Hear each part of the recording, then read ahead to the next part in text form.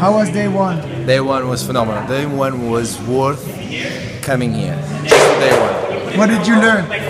Uh, about how to uh, design plan programs for my clients in a way that uh, uh it's a, total uh, 360 degree approach to training, not anymore one way or two way. It's everything into consideration. Eric Price is the man.